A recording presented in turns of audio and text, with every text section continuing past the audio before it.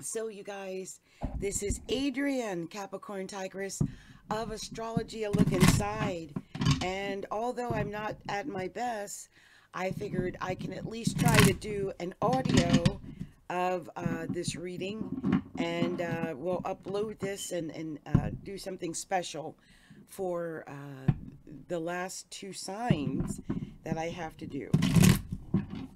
I'm not at my best, so bear with me but I feel like I have enough in me to get these two done. And I'm going to start with the first, which is the sign of Leo. Hello, beautiful Leos. Beautiful, queenly, kingly Leos. So we're going to um, pull some full moon cards, some full moon tarot cards. It's Halloween well, technically, it's now the 1st of November. It is now November 1st. I just looked over and it's 21 minutes after, uh, 22 minutes after the midnight. So it's now the 1st of the month, which means I'm late on all my deadlines. but at least I'm feeling good enough to do this at least as an audio. So let's see. Divine Spirit, show me clearly. What is the special message you have for the sign of Leo? Show me clearly. What are we sharing with the sign of Leo? Wow, Leo. Show me clearly. What is this message? What am I sharing with Leo? Let me know what to share with Leo. Let me, oh, Leo, what is going on? What is that special message? Leo. Isn't this something? What a reading. Show me clearly. Anything else? Yeah, what's that? Wow. Show me clearly. What else? Show me. Oh, there we go. What? Oh, hold on, uh, you guys. This is what happens when you do two or three things at the same time. And I am doing two or three things at the same time. which is, is common for me to do two or three things at the same time. So let me download. Oh, no, wait, this is not doing it. Give me a second.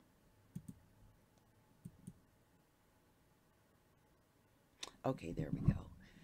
Uh, let's see, where is this Halloween? Uh, full moon. Okay, so we will do this.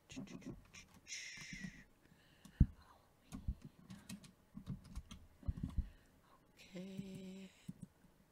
So sorry, Leo. I know Leo doesn't like when their people lose their attention span on them, but I had to do this. It's like do it or lose it, and I'm not losing it. I've been working at it too long. Okay, so, you know, some things you just can't do that. Okay, so uh, there we go. I've got that together um, here. I thought I had a couple of extra cards. Maybe not. Maybe what I need to do is pull those extra cards, whatever they may be. Oh, Leo, you just popped out in your own reading. I love it. Anything else for the sign of Leo? And Leo, thank you, by the way, for your patience. Thank you. Here we go. Oh, Leos. I, you know, it's so funny. I've done several readings. Um, and I made, I, for some reason, I wanted to make sure I didn't end on the same card because it was just about to do the same thing as the other readings I've done, uh, which is end on the tower. And I don't know why everyone's ending on the tower, except for the fact that it's, it's, uh, you know, uh, Halloween. Um, but I'm, I, I went and pulled two more cards and I'm distressed of the two additional cards I got. So it should have ended on a tower. So we'll see. Um, let's see here. Okay, so let's just go ahead and start. You know, the first card you got, Leo, was the Ace of Cups. I always feel like I need to show it to you, but I can't do it right now in the way we're doing this tonight. Uh, the Ace of Cups uh, came out first and foremost. And when I see the Ace of Cups, uh, you know, this tells me there's a great deal of emotion going on. And also it lets me know that there's the potential, at least, for you to attain emotional fulfillment. You can become uh, or have emotional satisfaction. And I really believe this is so, Leo, because the Ace of Cups was topped by the Ten of Cups. That is emotional fulfillment. That's, I mean, when you get the Ace of Cups and Ten of Cups, you're basically looking at the highest level of cups, really, uh, you know, as far as uh, your satisfaction and enjoyment and, and, and uh, emotional fulfillment. Beautiful, beautiful that you would get that. Um, the top card was the Three of Staves. Now, the Three of Staves, I look at it as a card of courage because, you know, as he stands there with his, his, staff in the air, like, I will not go quietly into the night, I will survive. One of my favorite lines from uh, Independence Day. But he's standing there with the sun in front of him, holding his staff like, I will be victorious. And he's got choices. He can sail away from where he is right now. There's a ship, there's, uh, you know, the water, the ocean, and, and, and the sun and the staffs. And this is someone standing up, being strong in spite of whatever else is going on in their life. That's what I believe when I see this three of staffs. And next after that is the magician. And it's a one card, which, you know, one vibrates to uh, Aries and in numerology, both Leo and Aries. So this in a way is a Leo card in a way because, well, I mean, not traditionally. Traditionally, I think it's Pisces, but it's a one. Okay, and Leos vibrate to one in numerology. So I love that. It also lets me know that you have all the tools, all of the things that you need to be successful, to be um, at the top of your game to win. You have all of the tools you need to win. You have them already. You may not feel that you have them, and this is especially true because the next card is the Ten of Swords. One second.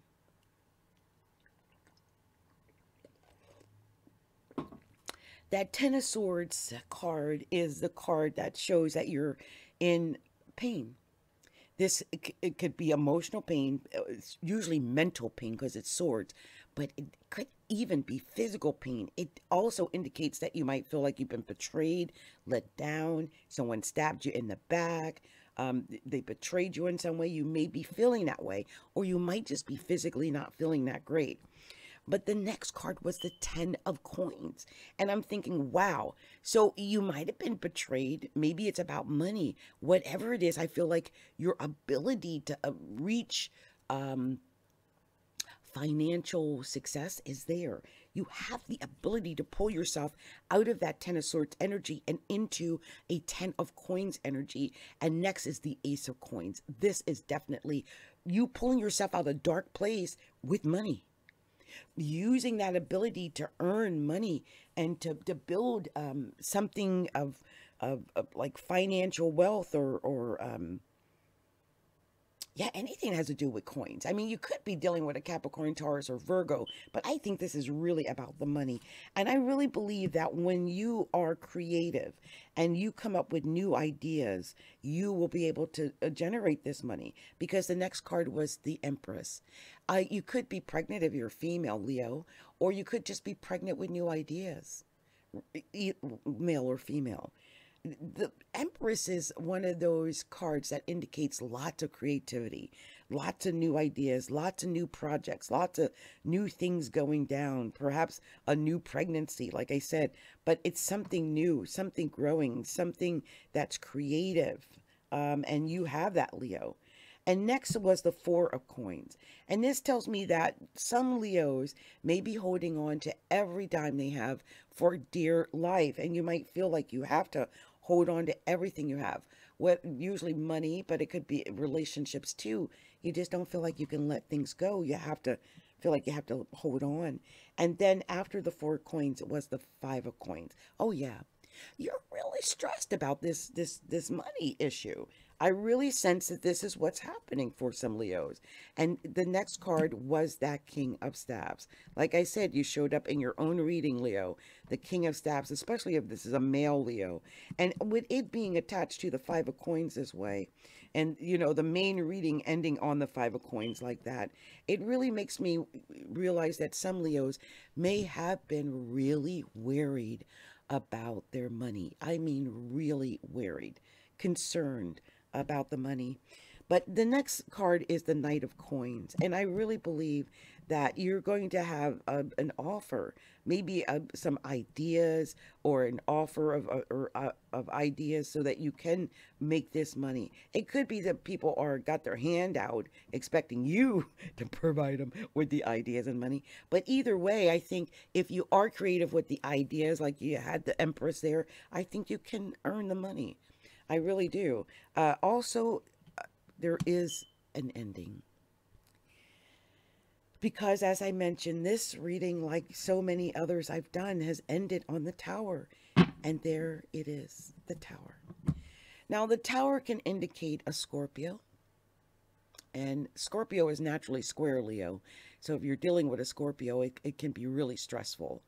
Um, it could just indicate that there's an ending after, um, you know, you've been building and working on something for so long. It could be work, it could be a career, it could be a relationship, but we're talking about coins mostly in this reading. So I think it could have something to do with building something to make money or in a career or in work or something like that. And suddenly it all fall, falls apart. It could be why you're so worried about money or been stressed about money because you felt that it was falling apart. Um, I think the next card, and I was shocked when I got this card, was the Three of Swords right after the Tower. Some Leos have felt stabbed in the back, stabbed in the heart, let down. The relationship's not been what it was supposed to be. I mean, this, you had the Ten of Swords, the Three of Swords, and the Tower in this reading. That's a lot, Leo. That's a lot of pain to be in. That's a lot of loss. That's a lot of betrayal. Uh, some Leos may be going through betrayal. And uh, if you're a Leo and any of this resonates with you, I hope you do take a moment to reach out to me because I think anyone who's got this much going on might need to speak with someone or just have, you know, a sounding board.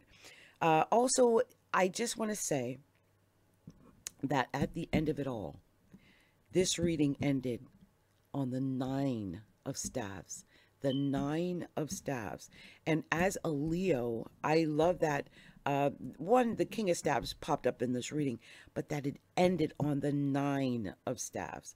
Because the Nine of Staves says, or lets you know that whatever it is that you've been going through, whatever uh, this tower was, or the Three of Swords was, or this Ten of Swords was, that with this Nine of Staves, you just have to prepare, strategize, be ready, get on your, you know, get on your set, or what is it? Get, uh, uh, get set. Uh, what is it? That get on your mark. Get on your mark. Set. Go. Get on your mark.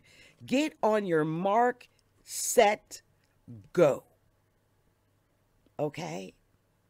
So after this tower, because there's the king of staves, the nine of coin, knight of coins, the tower, the three of swords, and then the nine of staves. Okay, so you've been you were worried about the coins.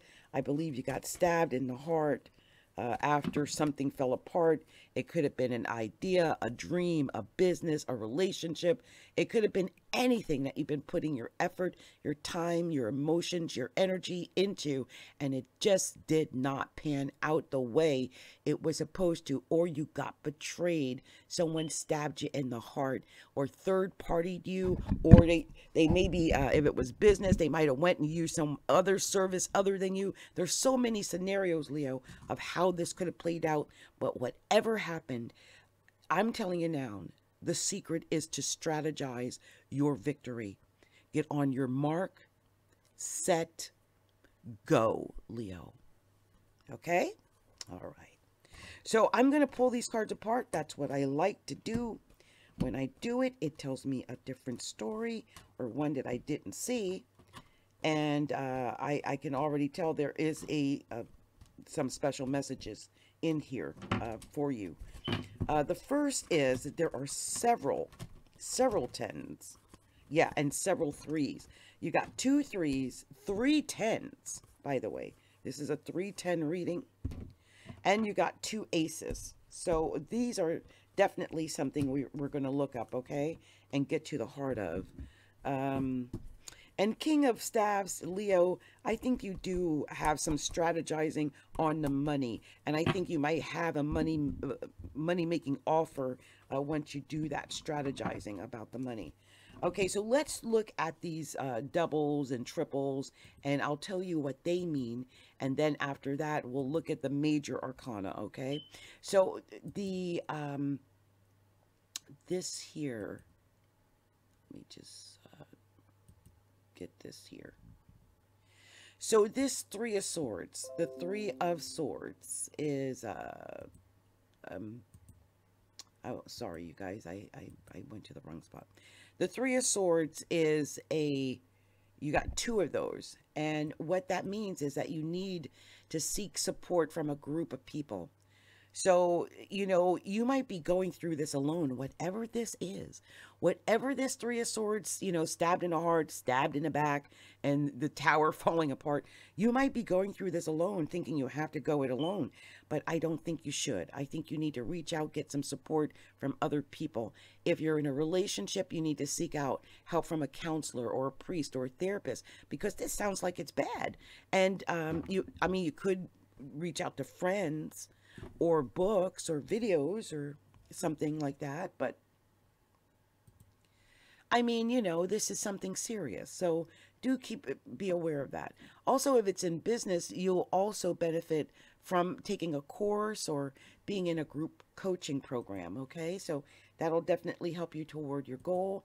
We're going to look up what uh, the three tens are because you also got three tens, and I definitely wanted to tell you what that means because uh, that's that's very interesting. So three tens uh, indicates endings and beginnings. Um, everything is coming to an end faster than you anticipated. So there could be endings. You might not have been ready for these endings, but they're happening, okay? Um, also, it's about finding your path and your calling uh, very soon. Like I said, there were some pentacles in this reading, and I really believe that this is about you finding that path, finding that that way toward success, and strategizing in order to get there. That's going to be a major focal point. Is the strategizing. Uh, so there's another card uh, that I wanted to look up here, or another one, uh, which is two aces, two aces, because you had two aces in this reading as well.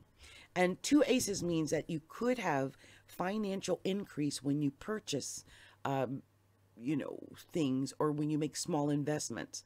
Uh, if this has to do with, say, working on the internet, if you are um, purchasing ways to earn money online, that would be a good purchase, right?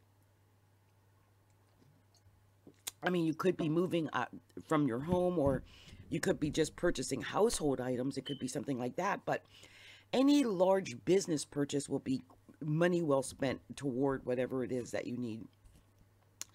Also, for relationship, it could mean that things that, you know, that there are things that you're purchasing as a couple. Um, it could also indicate a lack of progression in the relationship, so be careful of that. So you also had I'm going to read your major arcana. You only had three major arcana.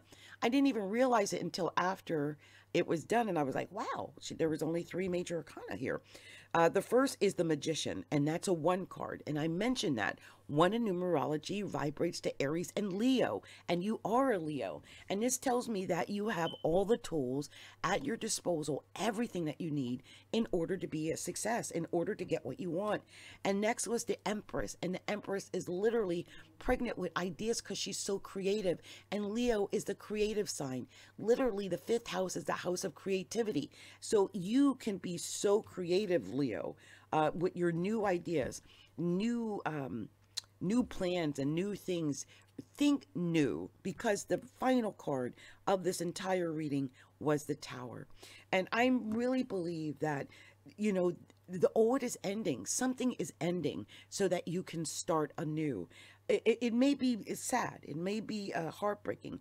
But know that if you have to end, that something better is coming. It's so that you can express perhaps these new creative ideas that you're getting from the magical place of the magician. Okay, so good luck, uh, Leo. Um, again, if you feel that you need some additional assistance or support, uh, reach out to a therapist or a professional. If it's something that you feel that I can help you with, definitely reach out to me. I do healings now, sacred soul light healings and sacred soul alignment healings. Um, also, um, it could just be something we can find in your chart. So you can also reach out to get a, a actual horoscope chart reading done with me, and I would love to help you with that. So once again, much love, much light to you, Leos. May November be a wonderful month for you. And, you know, don't forget to make those purchases and investments so that you can build toward your success. Okay. Many blessings, Leo. And if you haven't already done so, take a moment now to like and share the videos. Share this video. Mm. And also to, um, like and share the video. Also, uh, subscribe to the channel. Uh, hit the little bell so you know when I'm going live, uh, whenever I'm uploading new things to the channel. and um, uh, also uh, subscribe to uh, go to our website subscribe there that's astrologyalookinside.com you um, can go and subscribe there that way you'll know whenever i'm uploading new uh, blog post or uploading new products to the website. And you can also like us on Facebook at facebook.com slash astrology look inside and Instagram at instagram.com slash astrology look inside. Okay. Much love, many blessings. Ah, may November be a beautiful month for Leo and may you get out of whatever has had you in the sword energy. Okay. Many blessings to you.